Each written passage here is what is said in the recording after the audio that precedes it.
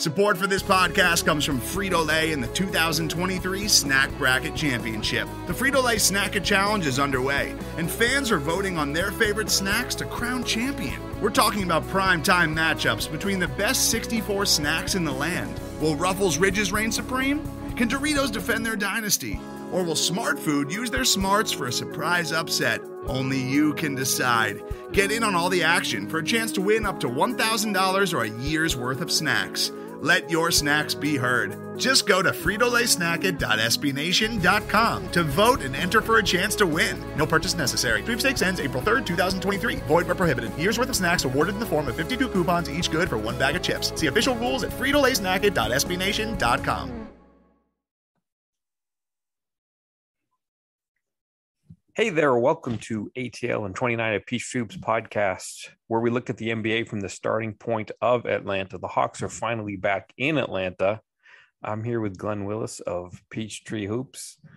And, uh, you know, just to get some trivial stuff out of the way after uh, going to the Hawks practice today, Glenn, should the should the Hawks trade John Collins? Uh, well, of course, that would depend on the return, but in like 99 scenarios out of 100, I would say no. And why not? He's an awesome fit with Trae. I, I don't. I think it'd be it'd be hard pressed to find a better fit for uh, with Trae, a guy who is, I think, like possibly, if not likely, one of the 10 best at diving to the rim and finishing plays uh, in the pick and roll, and then also uh, amongst bigs, probably one of the 10 best pick and pop three point shooters. And you get that in both players. And you're building around uh, the elite pick and roll point guard in the NBA. And I don't know why you would want to uh, break those two up.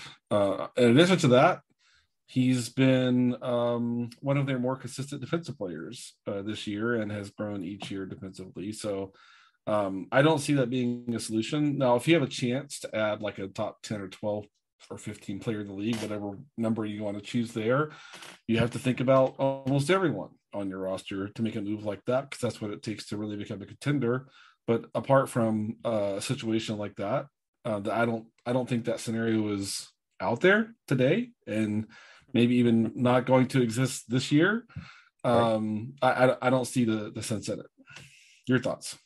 Yeah, I agree with you. I think if you're going to build around Trae, uh, you you certainly would want somebody who's the, a roll man of John's uh, caliber, but I think it's just smart to sort of play two bigs the way that the Hawks do with Capela and Collins. And I really think Collins is the one who sort of facilitates that his diverse skill set, and you know he's he's an elite finisher. Uh, but you know, I guess they, in a way they have to keep him happy. Like I, and and that seems weird just in the sense that I don't think he's particularly unhappy most of the time. I, I, think winning cures a lot of that, and that would only come up if they're you know they're going through a prolonged losing thing. But you know he he just does a lot, and you know I, it's this it wouldn't be the first time we got to one of these podcasts and we said, well, you know, what can the Hawks do to get John the ball more often because that's when good things typically start to happen and you know it takes some work to get that to happen. Teams want the ball to go somewhere else and you know so so that's something that they have to pursue. And you know he's he's in his fifth year and this is sort of the second fewest shot attempts per game out of his career you know lower than every season except for his rookie season under bud where he was essentially just a backup five. So uh you know i'm, I'm sure he wants a bigger role than what he has. I mean he has the contract so uh, that's in place for him. But you know, he's he's he's a perfectionist, and you know, kind of reading between the lines, it felt a little bit like that story about him being frustrated with sort of taking frustration about losing, and some of his post game quotes were, you know, I appreciate John in the sense that. I like people who try to say something in the media availabilities as opposed to people who just try to say the most bland thing. And John goes out of his way to express how he feels and, and say something that means something. So when it, he loses and he tries to express that, uh, I think it comes off as disappointment, but you could say disappointment about what? And I think in John's case this weekend, even though he played two very frustrated games in Los Angeles, uh, I think it's frustration about losing mostly. Yeah, that'd be my guess too. I mean, all the things that I've taken in from watching him and being quote around him, the closest I've gotten to that is summer league and get get you know had a chance to kind of see uh, him play really up close. Um, you know the way he's committed to leading on the court. Uh, I, I, have no doubt that a, a, large part of that frustration is losses, the losses.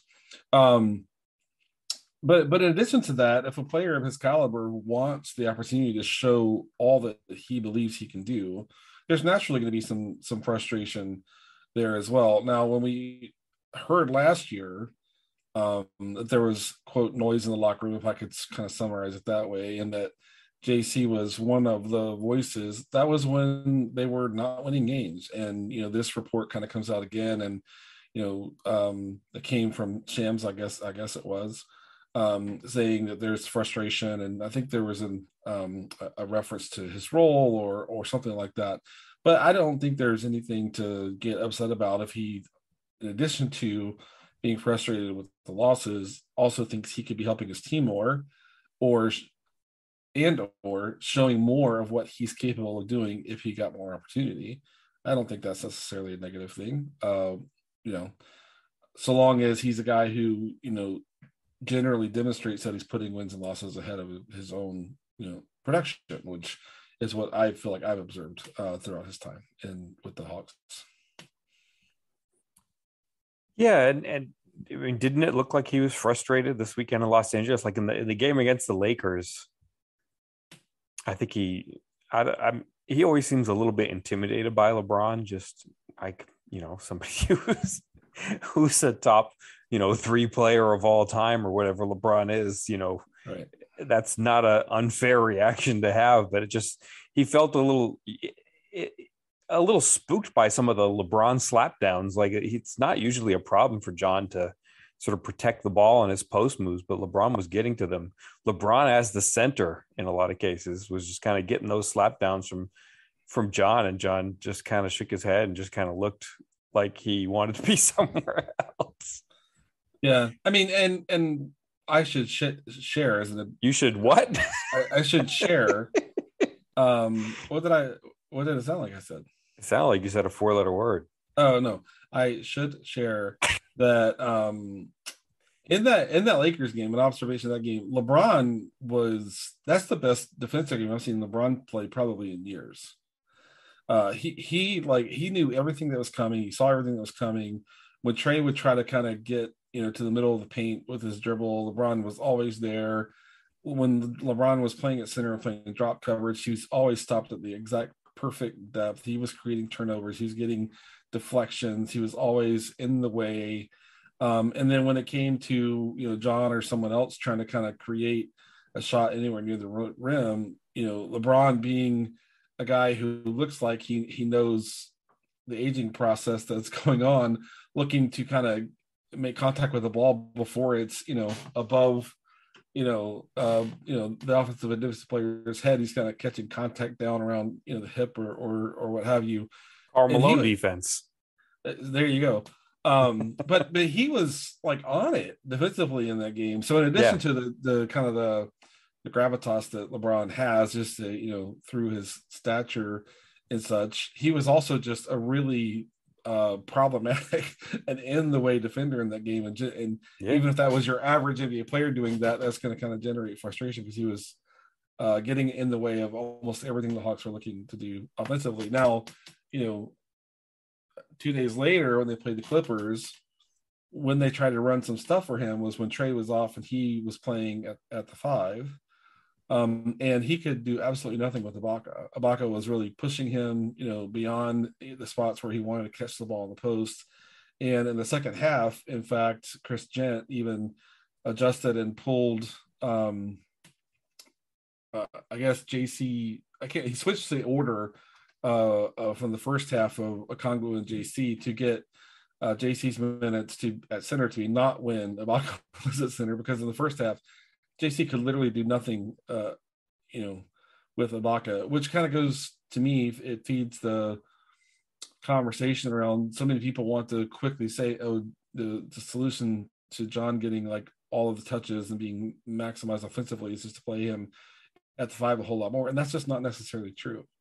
Um, you know, he doesn't have the length, and there are some centers like Ibaka, he's just not going to really uh, have as you know as much to work with. Um, so yeah, I mean, it it was I think a real experience and frustration versus both the Lakers and the Clippers in terms of what he had to try to kind of work through to generate even a shot in the post or turn around or face up jumper like you know he's so good with. He couldn't get to that stuff at all um, in, in those two games. Still had, you know, a, a, generally productive road trip. You know, he's a good player, um, you know, and all that sort of stuff. But uh, yeah, those were, I think, two really frustrating games for him from just watching, not even um, accounting for his his comments. Nate looked happy today, like the whatever the situation was with the Hawks and how they've been playing or whatever. Like just him being out of protocol and back back in duty like i think that's the most he's smiled in months it's like he had that first day of school look like man it's great to be well i guess some people don't look at the first day of school as a great day but he just he just had that glow like man i miss this. Uh, uh or or was it kind of like when when mom goes away for a week and the house like you know goes to goes to heck because she's not there to kind of do her thing and keep everything on schedule and working and then mom comes back and is like yeah you all appreciate me now don't you? Was it was it maybe a little bit like that? I, I, I don't know um what, do you think of uh the move? We don't know that this is necessarily going to stick but uh for the two Los Angeles games, we've seen sort of the backup guard rotation of the well, Huerter wasn't a backup against the Clippers, but we've seen some sort of uh, Delon Wright, Kevin Huerter backup tandems at guard, and no Lou Williams, and Lou Williams did not dress for the Clipper game. But uh, do you think that the bench offense is going to be okay in their hands? I think the bench offense will be better. Uh, we'll see if Nate changes the course in this area, as you know, Nate is as committed to veterans as as uh, most coaches in, in, the league are. I'll put I'll put it that way. Um, but I mean, for for me, it's also a factor of giving those two guys something to work with and something, um, you know, uh, sort of a regular kind of lineup to work with uh, as well. So is that going to be kind of built around? Okongwu working in the pick and roll with Huerter. You know, Delon's not the strongest pick and roll guard in the league. Um, you know, or, or you know, or if that's not it, what is it going to be? Is it going to be you know JC spending some time there? You know, you and I talked a little bit about how offensively potent JC and Okongwu playing together could be what we see. You know, some of that. Um, if that's the case, we'll see probably Gallo entering uh, games in the first and third quarter earlier than he has been. Right. Um, so it'll be interesting to see how they kind of round out the rest of that lineup because they'll need some shot making uh, there as well. Because when you look at what um, you normally try to package in your backcourt, even on the second unit, you usually get a little bit more uh, shooting equity than the combination. Uh, and of course, Huerter's a, a, very good shooter, if not a great shooter, and especially um, the growth he's had getting down into the mid range. And now getting to his left-handed layup for how many games in a row now has he's been has he been showing that yeah um but but still you know at the three and the four at a minimum you know getting some uh, uh shooting there and at the five getting uh someone uh just seeing who that's going to be that, that help them uh, kind of use the ball screens to kind of uh create some space for ball handlers to work so I, I think it's fine i think it's the right move um but that's only part of the equation. The rest of the equation is kind of figuring out what the rest of that lineup's going to going to be, and then then what kind of stuff they try to get into. Yeah, that's. I, I was asking Nate today about Delon's sort of expanded role of late, and that's one of the things he brought up is that it's been a rotating cast of characters for him over the last three four weeks. Like, you know, he's had the the ball more as sort of a backup facilitator, but like from game to game, it's just a constant change in who he's playing with. Uh, so I, I, think Nate hopes to get him some stability soon in that role, so that he's he's used to who he's playing with. Because you know he's gone from playing with Gorgui to playing with Onyeka and you know all the different ten day guys that were getting punched into the rotation. Uh, you know, I, I obviously I think that's going to help them if they can ever get to that point. Yeah, they they. I mean, they're still the number two offense in the league, so it's not like the the backup uh, or the second unit offense has been kind of a, a serious drag. Um, mm, it's well, I would. Wish, I mean, you know, you're talking like the difference between, you know, if you just do like the the Trae on Trae off minutes, like the offense with Trae is, you know, if you just took those minutes, that would be like the number one offense in the NBA. And if you take the Trae off numbers, they're like at 100 points per 100 possessions, which is, you know, OKC territory at 30. Like that's it's a pretty wide gap. Yeah, it is. But what I'm saying is they're still the second best offense in the in the league. You know, so that tells you that there should be enough offensive talent to spread across the first and second unit.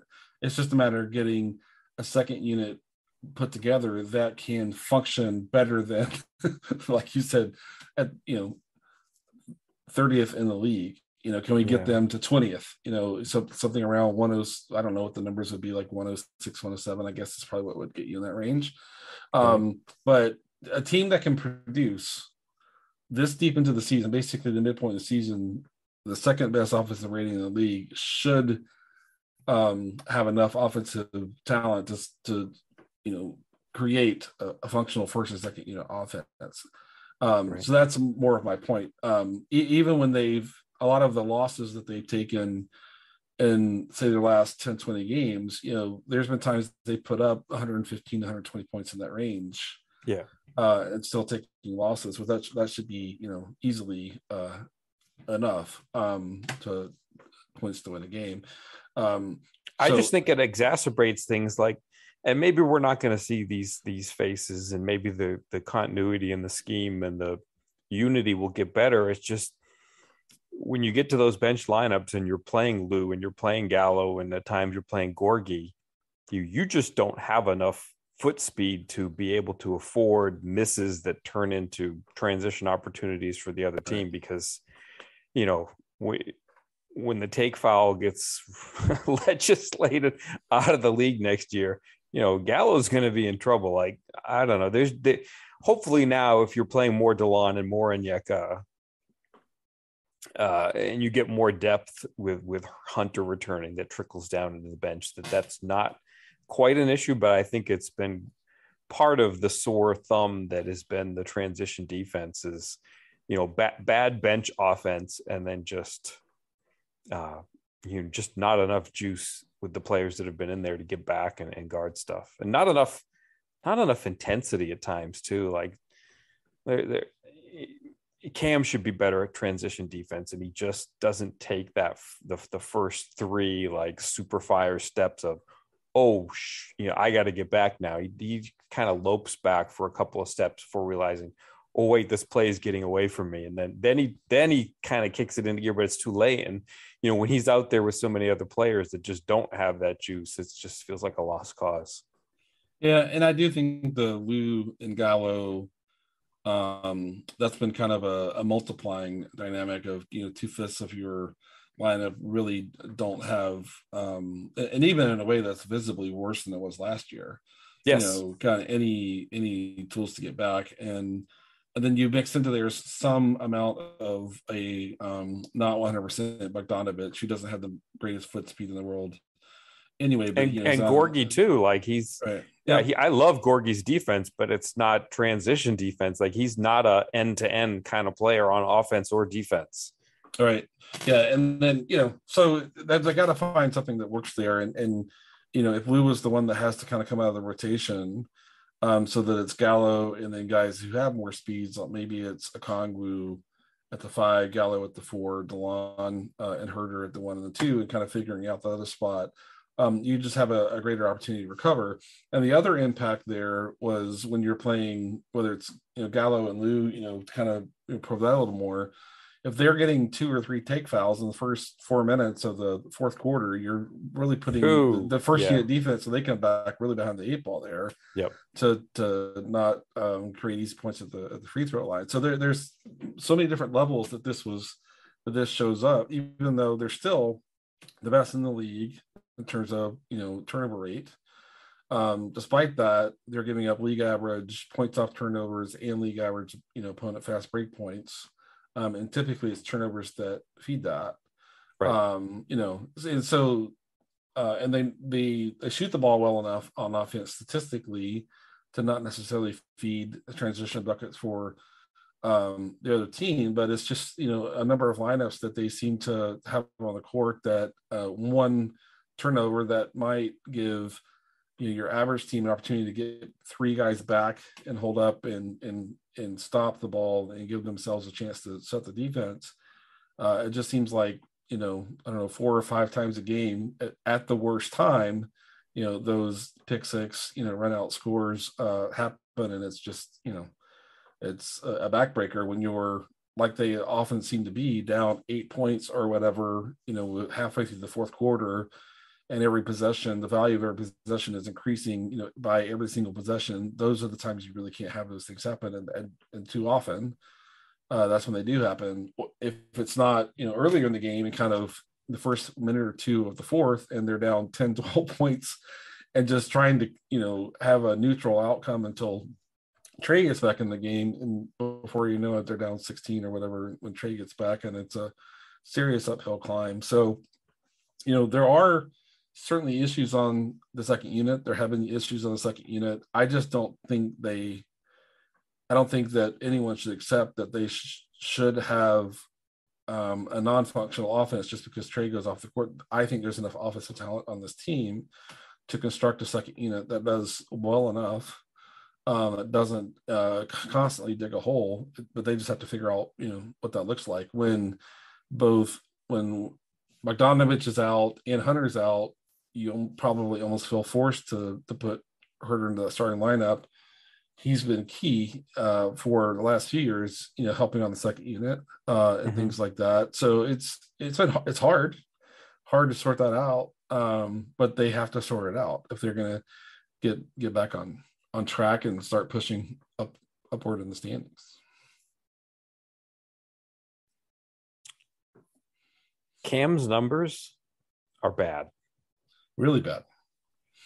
And I'm I'm talking about team numbers. Yep.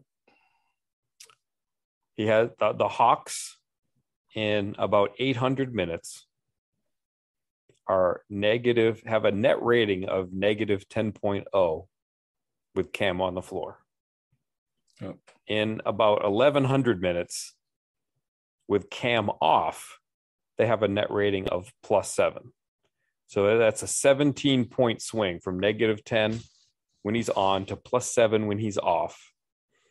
And this is most notable because he's the only player in this vicinity. Like no other Hawk who's sort of a regular comes close. Uh, I suppose the the you know if you're looking at for some regulars who are sort of uh, semi-regular, due to injury or use or whatnot. Um, uh, you know, we talked about uh, Reddish being a 17 point swing. Some guys like TLC and Lou Williams are at about a six point difference, not 17, like six. Uh, if you need somebody with a little more minutes than that, with Gallo, who's played a lot with Reddish, it's about um, four point swing. Like he's far and away the one in the lineups that are they're killing the Hawks, and why is that? Well, I think part of the issue is that when he's had really good games or really good moments in games, I think everyone is so eager to see that that that's what is most often remembered. Right. But I th- I think what's actually happening is that that's um a pretty significant minority of his minutes. There's been so many minutes where um, he just hasn't been engaged defensively. Certainly, he's not alone there, so I don't. I, that would be unfair to kind of try to single him out on that end. A team that's you know performing that the way they are defensively, that's an issue. Um, on offense, especially early in the season, um, just not much judgment in terms of how how and when to attack with the ball ball sticking, um, him trying to make plays that um, really aren't there, you know, a lot of the time. Um, and you know, part of that maps back to the fact that he's just he's been hurt a lot and then hasn't gotten nearly the number of reps that you'd wish. But um, the play is really choppy uh, and inconsistent. And then, um, you know, if I'm being fully honest, I, there are times that he looks really frustrated uh, to kind of be in the situation that he's in, right? Uh, and that impacts his play. So that that I feel like that's what I'm seeing. I'm I'm, I'm wondering um, if we took a moment to kind of figure out what that number is when he's playing with Trae and when he's not playing with Trae. Um, you know, if there's some uh, part of it that is that he's kind of statistically um, penalized for playing so many minutes without Trae. Because uh, right. anybody, that, anybody, that seems like who they try to separate for sure. So he's right. He's the one who plays most often without the Hawks' best player. That's true. Right, right. So I, I think that's a factor. But if, if I'm using quote the proverbial eye test is it this year this year has been a struggle and when he in those examples when he's kind of put it together he's been such a helpful player i i just wish for him and for the team that that was becoming more frequent uh, than it has been. Uh, so that's kind of kind of my view there. Yeah you know and and looking at his road trip i think it was portland where you, you know you're watching him play defense and trying to rotate and trying to recover to a player. And you know to his credit i think he was out there kind of gutting it out. Like he'd try to stop like try to plant and stop and you see that he just couldn't on that ankle but man there was another game i want I, I think it's the laker game where you know he's playing defense and he it's like well now would be a good time for for him to dig and he digs but he doesn't really dig. Like he just kind of goes through the body motion of getting to where a digger would go, and then he just doesn't do it. Like he just doesn't stick his. You know, he's got to be more probing, more physical. Like he, I wouldn't say he gets stuck in no man's land on a play like that because he kind of does the dig, but it's like if you're not going to actually dig, then it's counter, you know, it's counterproductive at that point because you're not actually going to get the ball out of it. Like if you're going to go and do that dig, you got to go for the ball. Like you can't just move and leave your man and not dig because now you're just in the wrong spot and you didn't do anything to kind of pressure them or take that risk for a turnover. Like it just feels like on a lot of plays, he's just, you know, going to the right places and making the right reads and the right rotations, but he needs to be more physical about it more. You know, he he it feels like he needs to foul more. Like you wouldn't normally say, "Hey, uh, we we need you to foul. We want to be in the boat. We want the other team to be in the bonus more." But it's like you've got he's got to take some defensive risks that might lead to a foul, but they might lead to a turnover and they might make the opponent uncomfortable, and it and, it, and they just lead to you know you being an aggressive team and you making the kind of plays that might get you on the fast break or, or you know get to a, a 10-0 run or something that that ends up being the spark in the game. It's just like he's not physical enough in in those matchups in something like a help dig or you know a rotation where he kind of gets to where he's supposed to be but doesn't really fully get the cutoff it's like you know if he he goes and he's more physical about it you know it will lead to more fouls and you don't want the fouls but you want the aggressive kind of play that would show itself up in those fouls yeah a, a good bit of what looks like kind of going through the motions and and you know I think most of us, not all of us, can remember moments when he's been a really disruptive defender and creating turnovers, you know, creating easy opportunities for the Hawks in transition. Um, and it, you know, just reflecting in this moment, it, it, seems like there was even more of that last year when he didn't play a ton uh, than there has been, you know, this year. Um, but um, while I was, uh, you know, intently listening to you there, Kevin. You want to guess what numbers? You want to guess what Cam and Trae's net rating is for their two man lineup?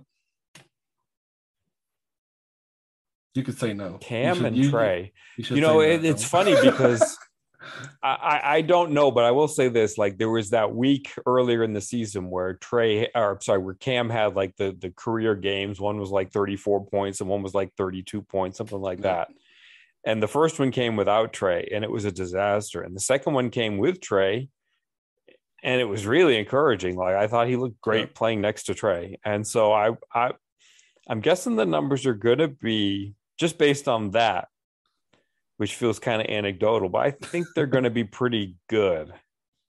It's, like uh, certainly better than the seven, you know, what we were talking about before. But go ahead. It's uh, a negative thirteen point four. Oh, yeah. well, what what's the total number of minutes? Three twenty three. Ooh, yeah, not good. Yeah, not good. Oh, alas.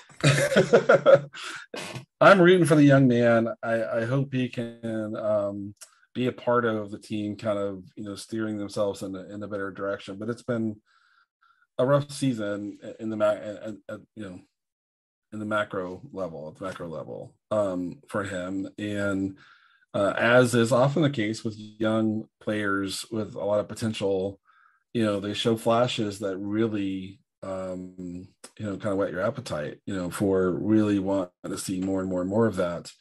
And um, and like I said a few minutes ago, it's just it's just not happening frequently enough uh, right now, you know.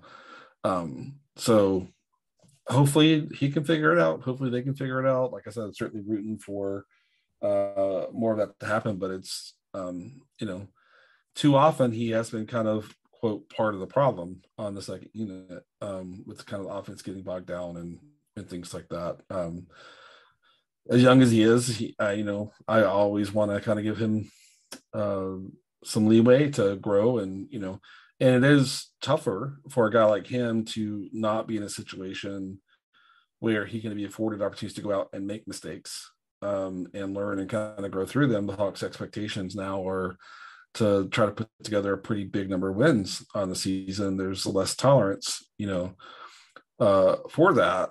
Um, but at the same time, they need him. You know, they need the best version of him. They need an improving version of him to be the best team um, that they could be, and um, that's, I think, just not on track uh, at the moment.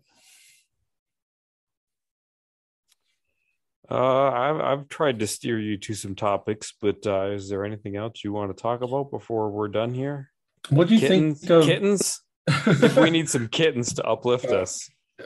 I can cleanse uh, as as some people who follow me on Twitter say they appreciate that I cleanse the timeline with uh, kitten content when the Hawks lose. I, I didn't make the connection there because I I post basketball stuff, and when I have something cute or, the kitten we're fostering right now is Kenzo.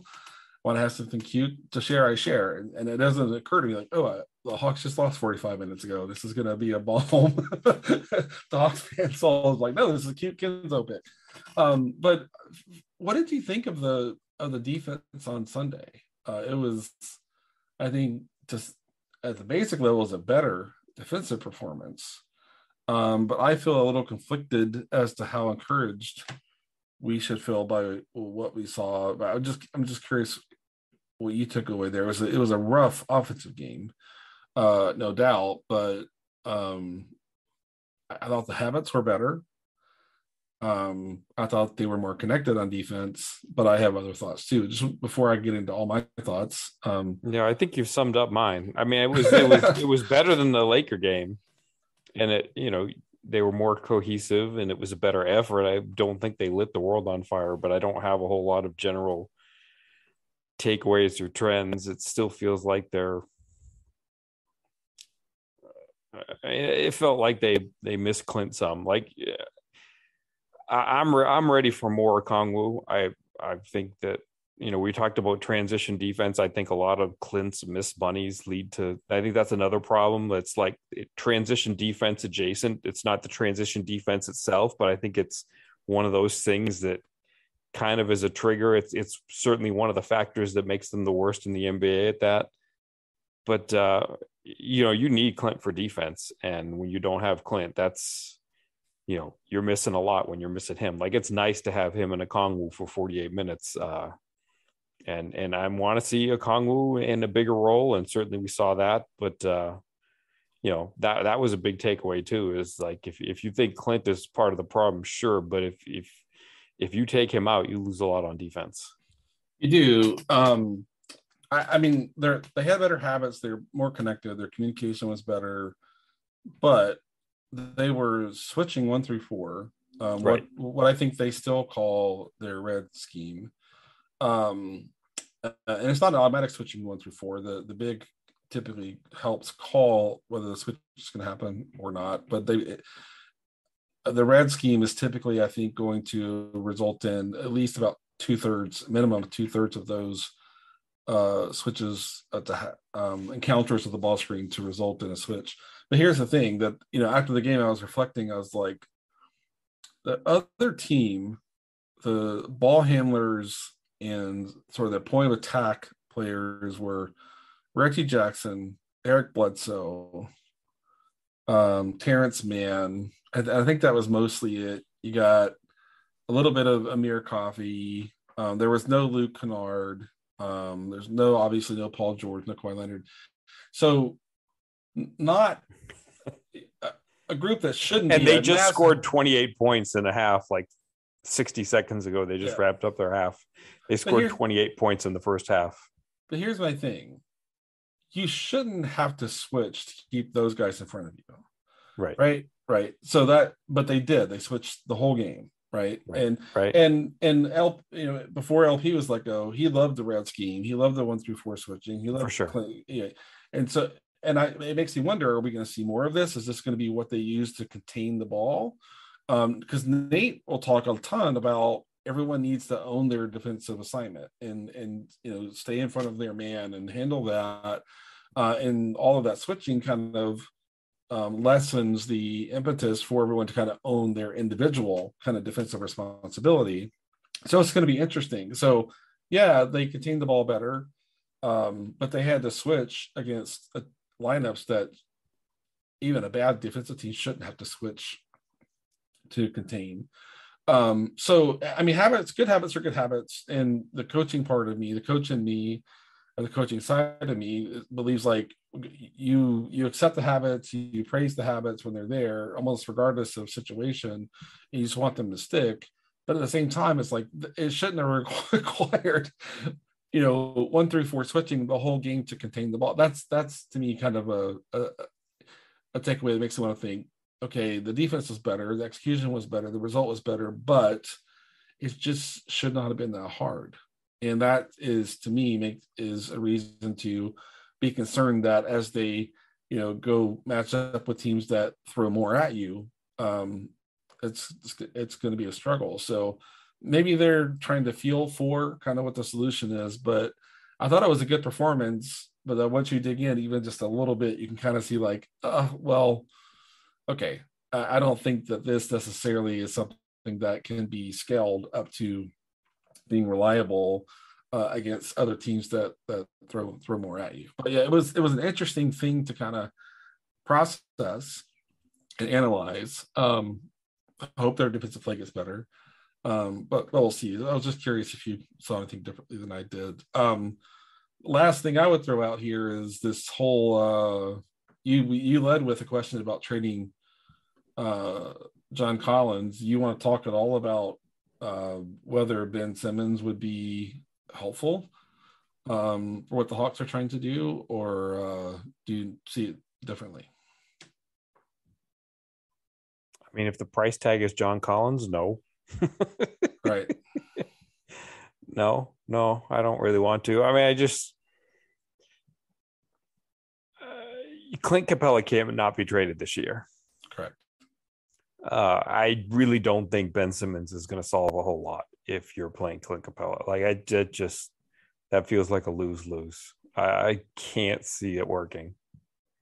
And Yeah, it's not like you're building some world beater defensive team either, because there's still going to be holes that that teams can exploit apart from Simmons and Capela. So, Yep. yeah, no, I, I I'm just out. I I don't think it's interesting. I think it's a gets a lot more intriguing in the off season. I just don't think there's really a way that that it works for this season that in a way that the Hawks end up pulling the trigger.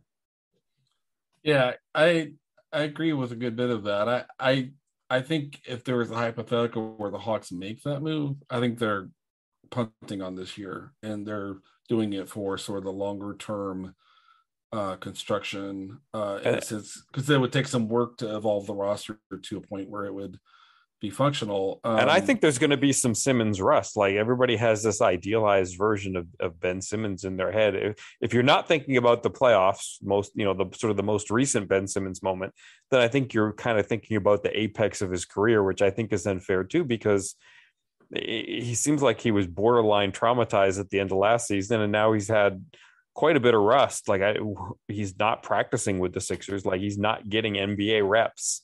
Yeah. So I don't think he's ready to just step in and be Ben Simmons, whatever the best version of Ben Simmons is.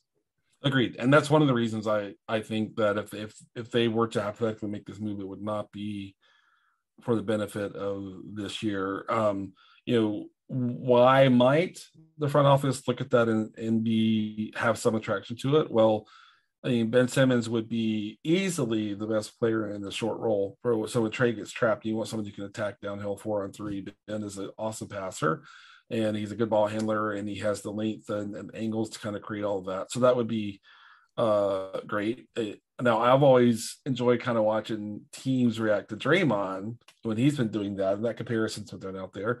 But there are teams that just kind of get away from Draymond and cover up all of the passing lanes and and and you know challenge him to make a, a shot at the rim with with a single defender, and that's sometimes been pretty workable against Draymond and Ben's aversion to shooting free throws or shooting contested shots, even at the rim, as we saw last year, would have to be something he'd overcome to, to make all that work. Um, but the, on the other side of things, um, he would be their best. Def- I think he'd be their best defender uh, day one. Um, Sure. and and address their uh, most significant weakness right now, which is um, point of attack defense. And so, you know, you could see some fit with Trae on offense. You could see um, him, you know, plugging a hole on defense. The question you have is how do you kind of fill your roster at the four and the five around him, kind of make that sensible? I, I think he and Okongwu could be pretty functional in Yeah. a way that he and Clint aren't. And so if Travis Schlenk is like, wow, this year is not going awesomely, let's kind of take a step back and build around Trae Simmons, Okongwu, and then fill guards like Huerter and such around them. I, I think there's something to that, potentially something to that.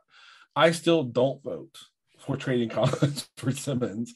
I'm Right. just, I'm just no, I mean that's the thing is like, like if there's a player on this roster that makes it work best, I think it's John.